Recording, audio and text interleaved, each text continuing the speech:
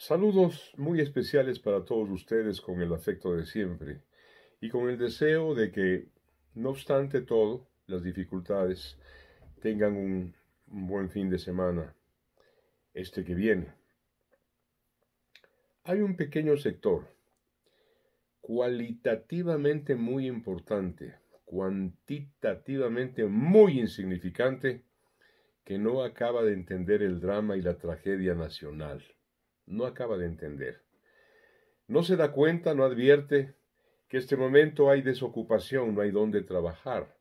Quiero insistir en estos en estos componentes de la tragedia. No hay dónde trabajar, hay un desempleo abierto y un subempleo enorme, inclusive acercándose al 70%, lo cual es dramático. La gente está con hambre. No tiene hay que ver sin embargo, de la pandemia, de la amenaza del contagio, hay gente pobrecita de todos los estratos sociales, especialmente del medio para abajo, pidiendo por favor, por caridad, centavos para comprar un pan y poder comer, ellos y sus hijos. Hay hambre. No pueden pagarse las deudas. La gente está agobiada con obligaciones que antes cumplía de manera ordenada y disciplinada y ahora es imposible. Hay una especie de insensibilidad por parte de los órganos empresariales, ¿no es cierto?, que son en este momento acreedores de la enorme cantidad de ecuatorianos endeudados. No tienen de dónde pagar. Hay enfermedad, hay saturación de los hospitales, no hay insumos médicos, no hay equipos médicos en ninguna parte. Al gobierno del señor Moreno se le fue de las manos del asunto y desde hace mucho tiempo. Y la paradoja es que vino adornado de la aureola de ser un gobierno socialista y hoy se ha entregado a los intereses de la extrema derecha económica del país. Esto es el capital financiero y un gran sector, no todo felizmente, un gran sector de la banca y dentro de la banca ese sector ignominioso sí, irrepudiable de los usureros tenedores de los bonos. Vuelve a lo que dije hace un momento. Hay un pequeño sector de gente respetable, importante, periodistas, ciudadanos que han hecho vida pública, que claro, hay que notar y advertir a qué clase sirven, dónde están insertados, qué intereses son prioritarios para ellos pero no son los intereses del país.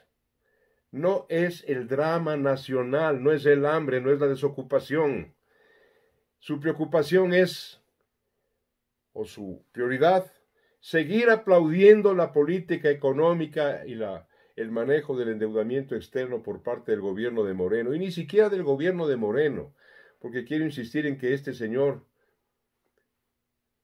la impresión que tengo es que o no le importa nada o no entiende nada, o la suma de las dos cosas. Es un grupúsculo que ha sido promovido por un sector de la prensa, no todo, un sector de la gran prensa, como si fueran los salvadores, los grandes consultores, los grandes poseedores de la receta nacional, y no es así. Están trabajando para los enemigos del pueblo ecuatoriano, los enemigos públicos, esta extrema derecha insensible, apátrida, apátrida, que no tiene bandera salvo el dinero, el lucro y la ganancia.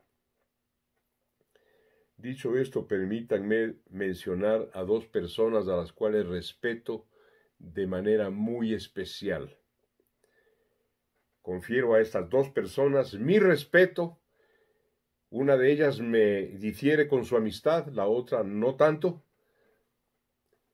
El uno es don Roberto Aspiazo, un notable ciudadano toda su vida, mostrándose ante el país como un patriota y un hombre solidario. Acaba de decir algo inaudito, inadmisible, inaceptable, que este hombre, este que tiene que responder el ministro de Finanzas, Richard Martínez, les ha tapado la boca a sus críticos. No, don Roberto, por favor. Yo sé que esto es un hombre recto y probablemente lo dice convencido, pero convencido no quiere decir que esté acertado, convencido pero equivocado. No puede decir, pues, que este sátrapa de Richard Martínez y el grupúsculo de sus asesores ha tapado la boca a sus críticos. ¿Sabe por qué, don Roberto? Porque llegará el momento, yo puedo asegurar, lo conozco, reconozco su rectitud, su integridad, en que usted se dé cuenta que al decir eso se está deshonrando. Usted, don Roberto Aspiazu, mi querido amigo, respetado amigo, se está deshonrando. Y tiempo habrá para que caiga en cuenta de esto. El otro señor es un conocido economista, Alberto Dajic. Nunca en la vida he estado próximo a él ni a 50 centímetros y menos de estrechado su mano, pero lo respeto, es un hombre muy bien formado, es un gran teórico, es un buen académico, es un intelectual de la economía. Estudió en Princeton, pero no llegó a graduarse. Allí no obtuvo el PhD, el doctorado. Pero claro, algo habrá aprovechado, porque además de ser una persona inteligente, Alberto Dajig es un hombre que académicamente, teóricamente, conoce y discurre bien sobre la economía. No es un hombre práctico, no es un hombre al cual se le puede encargar la gestión empresarial, administrativa, ¿no es cierto?, de los grandes quehaceres, tanto del Estado cuanto de la empresa privada. No, ese no es su talento, es un teórico. Yo pienso que ahí debería quedarse. El señor Dajig ha sido muy agresivo con el foro de economía en el cual hay economistas connotados y muy solidarios con el drama nacional que han hecho crítica al manejo financiero, crítica a un sector de la banca y crítica a los usureros.